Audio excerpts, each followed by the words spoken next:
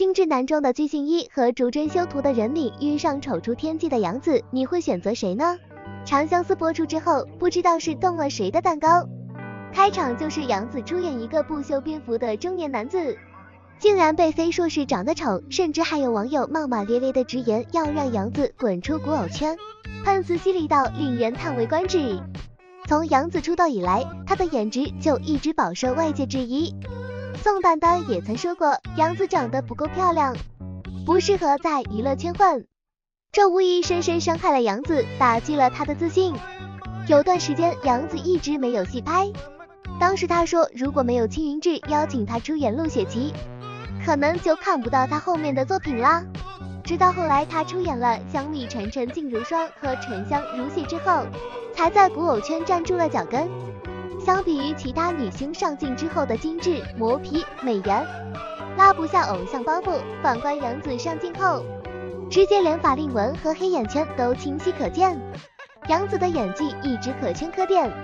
就比如《长相思》中文小六的瘦鞭型那一段，鞭子还未落下就紧紧攥在一起的双手，被鞭打的过程中一直闷哼声豆大的汗珠，让人真的感觉是在受刑。而有些演员在一受到痛苦的时候，就开始张起血盆大口大叫，而不知道痛苦还可以这样表现。还有就是文小六认出轩就是枪选之后，找他哥哥喝酒那一段。看到宋哥哥的狐狸尾巴依然被保存得好好的，心里满是委屈，眼眶湿润，泪水直流，假装喝酒，用酒碗挡住自己的脸，用手偷偷抹眼泪。剧中的文小六本就是一个不修边幅的中年男子，为了贴近人物形象，杨紫不仅特意让化妆师为其画丑一点，而且在外观上面也下了功夫，更是压低自己的声线，让自己更贴近人物角色。可即便他已经做到了这种地步，依旧还有人鸡蛋里挑骨头。难道非要女扮男装时画着金的眉毛，打着粉嫩的眼影，涂着娇艳的口红才算是贴切吗？对于这些恶语相向，也难怪央视都看不下去，出面为他证明。杨紫也表示，希望大家能从我身上看到我的勇敢。我很努力，我很敬爱工作，这就是最重要的事。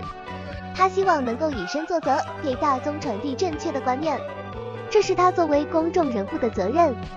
或许是因为在这个颜值大过于天的年代，杨紫这类实力派演员的流量让那些所谓的流量明星商业价值降低，所以他们才会迫切想拉杨紫下水。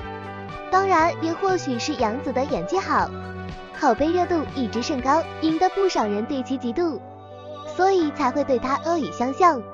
只要身怀演技和对演戏的热爱，不断的努力钻研理解人物，任凭谁打压都无用。所以在生活中，有时候别人会利用诋毁的话语让我们屈服，但是这肯定是不能把我们打倒的。